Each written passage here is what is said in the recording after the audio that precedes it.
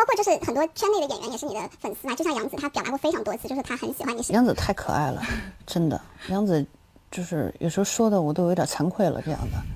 我觉得她应该克制一下，要不然我很惭愧这样的。我该怎么努力才能对得起她呀？我有一次突然看到网上一个片段，是杨紫演的这个《家有儿女》吧？对。